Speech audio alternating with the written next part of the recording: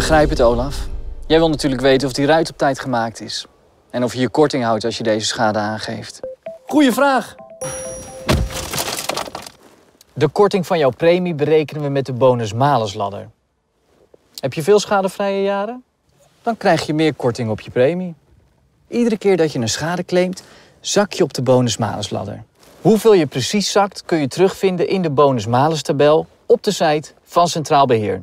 En omdat jij verzekerd bent tegen diefstal en inbraak, heb je bij deze schade een geluk bij een ongeluk. Schade door diefstal heeft namelijk geen invloed op je premie.